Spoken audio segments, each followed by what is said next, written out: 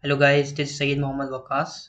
The topic which I'm gonna discuss today is related to the pump head calculation using Pipe Flow Expert software.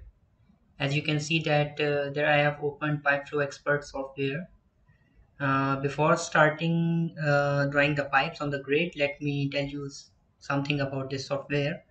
As you can see that this is the drawing grid area on which we, we are going to draw the pipes and placing pumps flow control valves and uh, tanks. And uh, this is the area where you can see the pipes tanks and their properties. And this is the toolbar at the top. You can see that there you can add fittings components pipes add demand pressure add uh, demand flow everything you can add from here. So let's start uh, drawing the uh, pipes and we'll discuss these things one by one. So first of all I'm gonna take the tank from here. I'm gonna place uh, one tank here. And uh, second tank I'm gonna place in here. And third one I'm gonna place in here.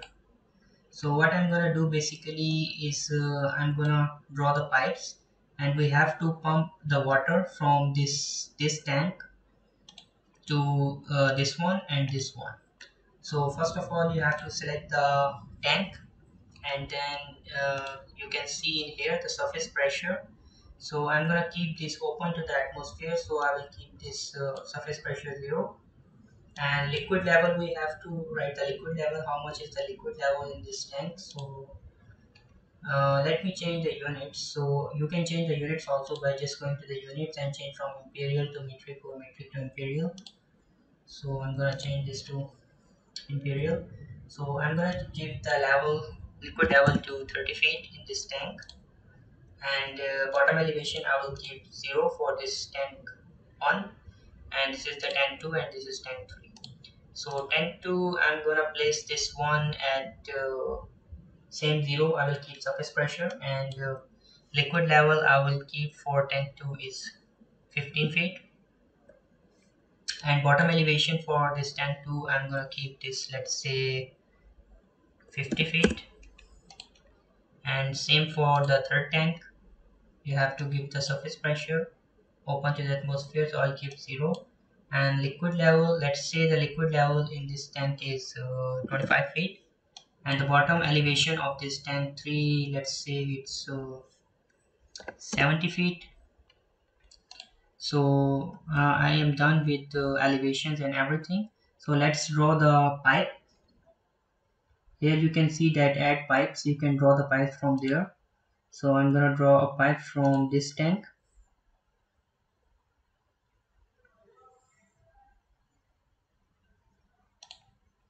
So once you draw the pipe first one first pipe segment then it will ask that uh, by default it's schedule 40 pipe and uh, length is that much diameter is that much and roughness is that but if you want to change these values you can just select yes now or you can change the uh, pipe values. Or if you if you want to change it later you can do it uh, also later by just selecting no. So I'm gonna change it now. So I will select yes.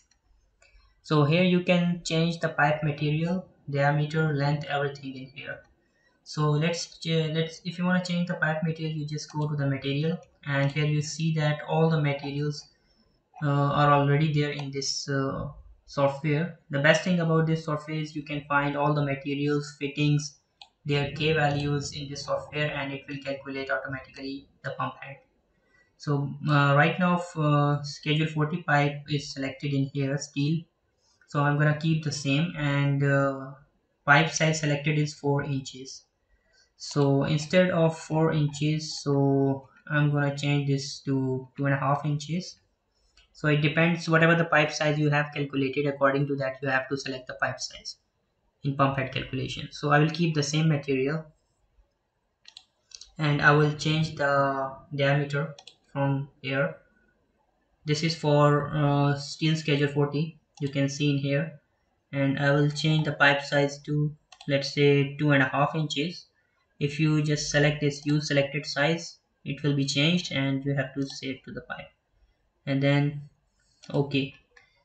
Also if you want to change the length of this segment you can change the length. You can see that this is represented by p1 you can change the length from here. So let's say we keep this to 10 feet. And you can see the pipe diameter we already changed this one to two and a half inches. So let's draw more pipes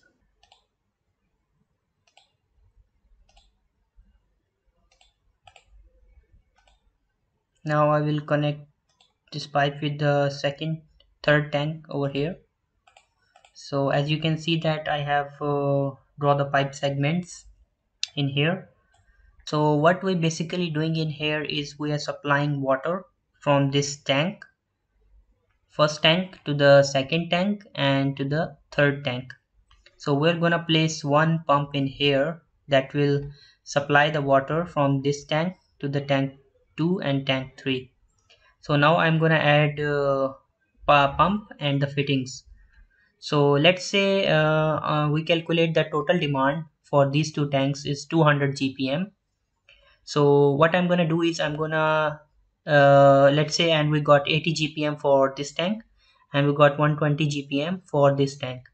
So uh, to in order to control the flow at uh, this tank 80 GPM and 120 GPM for this one. I'm gonna use one flow control valve either here or here to control uh, the flow across these lines. So that I will get total uh, if we have a total 200 GPM in here 80 will flow here and 120 GPM will flow there. So first of all I'm gonna place a pump of 200 GPM so you just select the pump from here and uh, just click the pipe here and you can place the pump in here. So uh, if you want to change the by default data you can change in here also. Just yes it will open this uh, dialog box. So you can check this one. The pump is in here. There are three types of pump which you can select in here.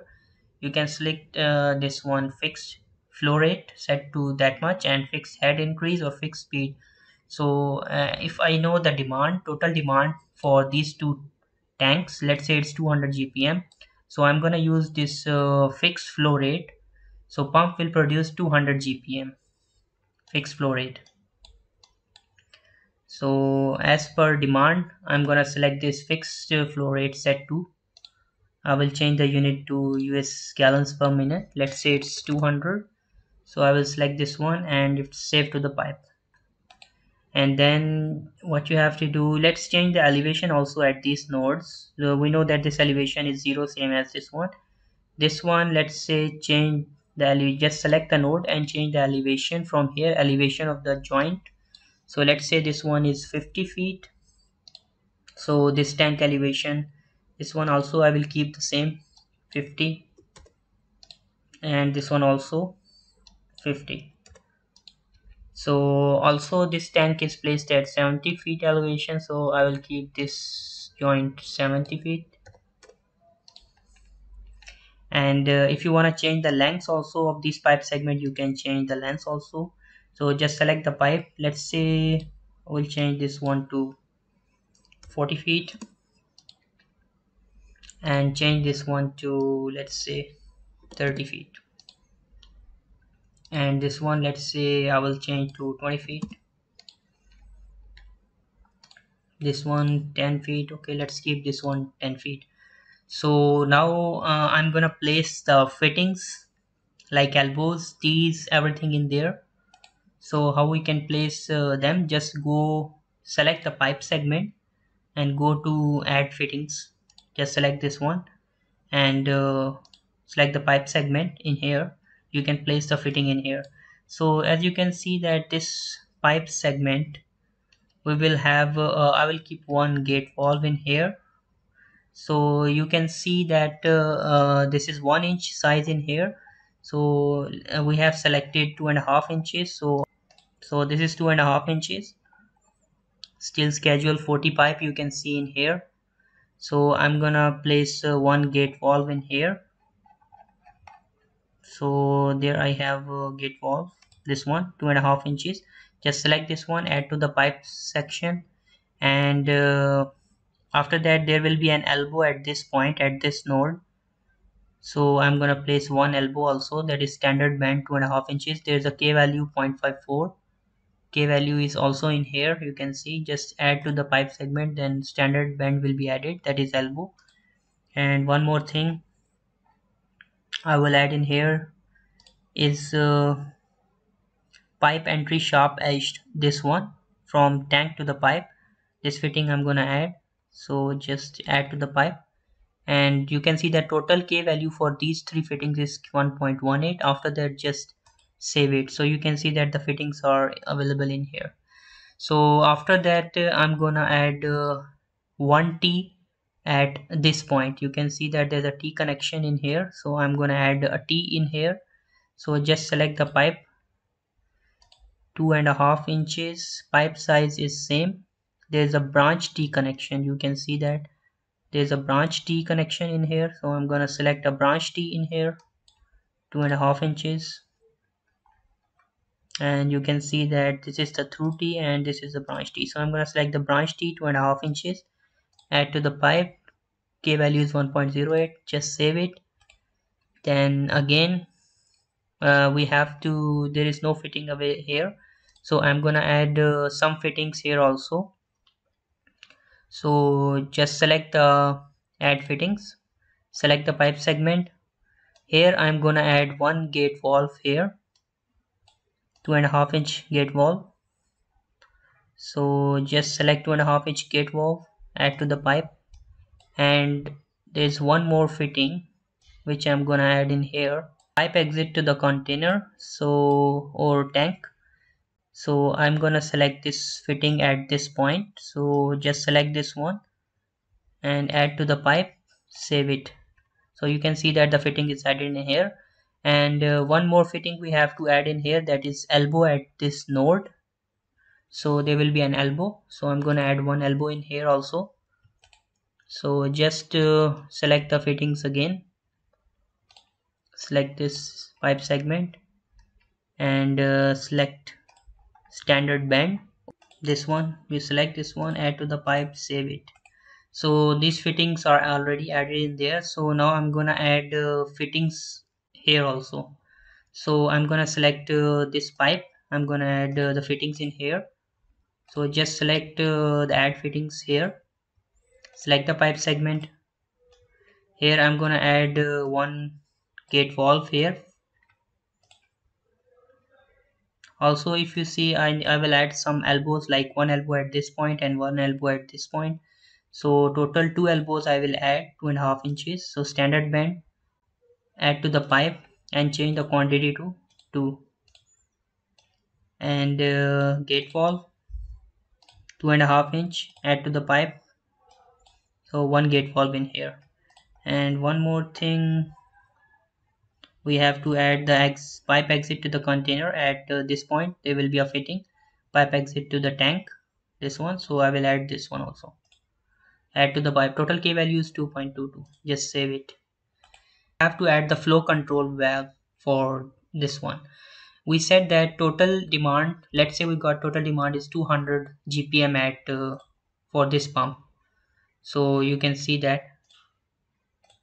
So and uh, we let's say we calculated the 80 gpm for this tank 2 and 120 gpm for tank 3 so we have to place a flow control valve so that 80 gpm will flow to this path and 120 gpm will flow to this path. So i'm gonna add some component in here. So you can see that add control valve.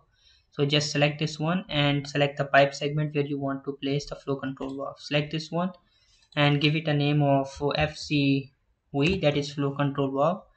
And uh, the flow which we are going to limit in here is uh, 80 GPM just select OK so that means 80 GPM will flow this way and 120 GPM will flow this way.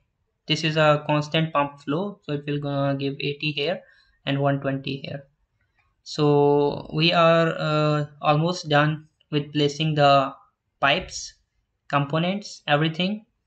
So what we have to do next is uh, we have to just uh, in order to generate the results or in order to calculate the pump head you can see that calculate button in here you just have to press calculate and it will generate the results. There's a dialog box will appear. You can see that the network was solved successfully and solution values are displayed on the drawing. Or you can see that in here pump head is 91.257 feet calculated. And uh, low pressure at any node is low pressure at any node is this much and uh, highest pressure at any node is this much. In close this one and view the drawings uh, view the results on this uh, drawing area. You can if you hover your pointer to any of the pipe segment you can check the results like flow and velocity length diameter start elevation end elevation start pressure and pressure everything you can see in here. Even at the tank you can see that liquid level elevation pressure everything is shown in here. Also on the drawing if you see that this is representing in red color this is representing in dark green and this one is in light green. And you can see the color of the pipe flow rate in US GPM red means 200 GPM so this is 200 GPM coming from this way. Then uh, dark green is like uh, 80 GPM this way and this is uh, the flow control valve that is supplying 80 GPM to this tank too.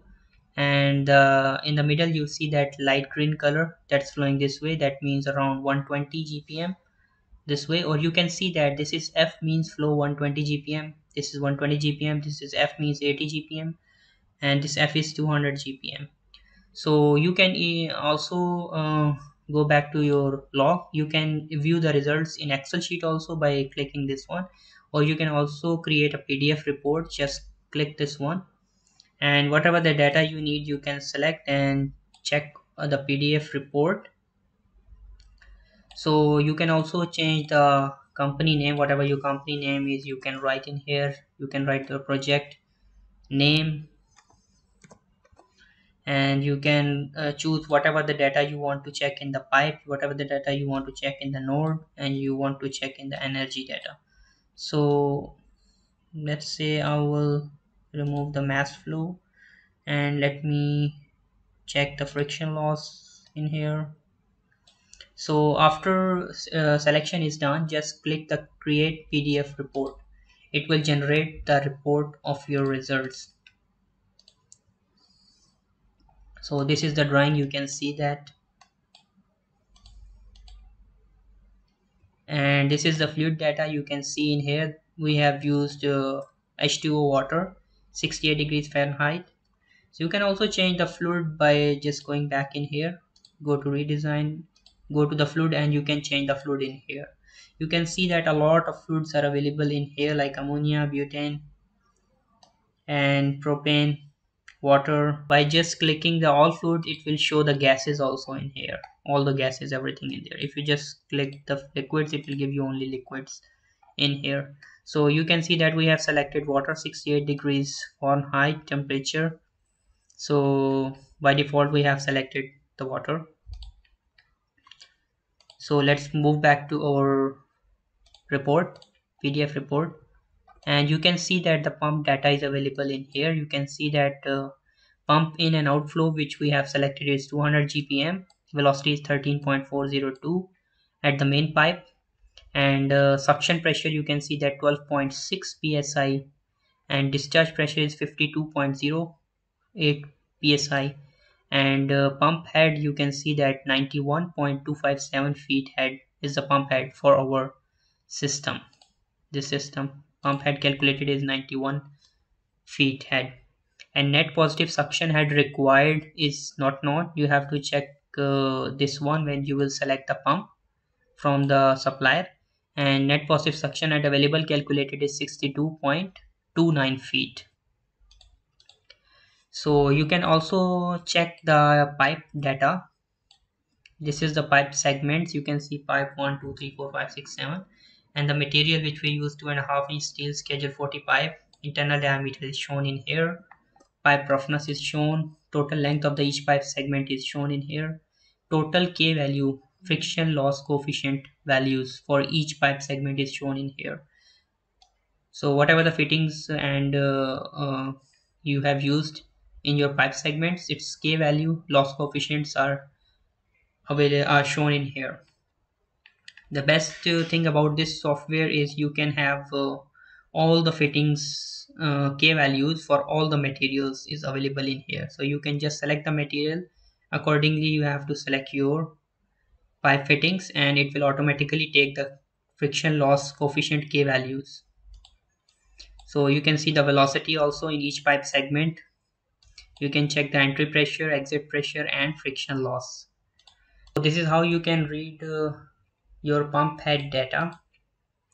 So it's very easy to calculate the pump head using this pipe flow expert software. So i hope you guys learned something from this video. For more videos keep watching my channel. Don't forget to subscribe and don't forget to press the bell icon. Thank you